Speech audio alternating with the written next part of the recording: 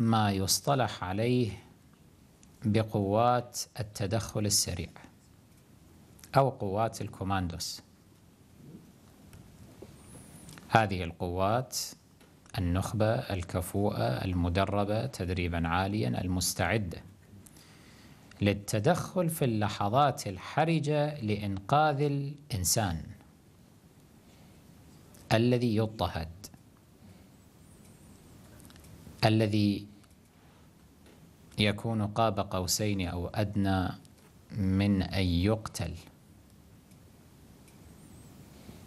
أو تنتهك حقوقه. الشيعة كما تعلمون أمة مستهدفة منذ 1400 عام.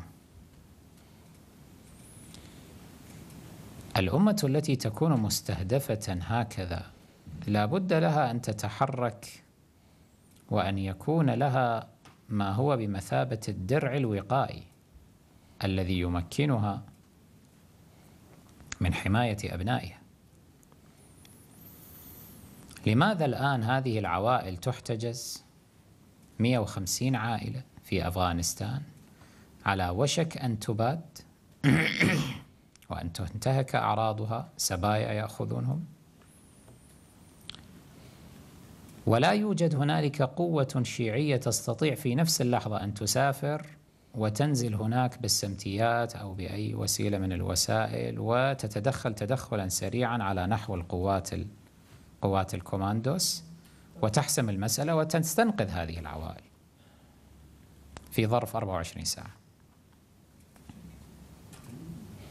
نحن بحاجة إلى مثل هذه القوات. التي تكتسب الشرعية القانونية بحسب القانون الدولي من خلال كيان جغرافي معين أو كيان ذو سيادة.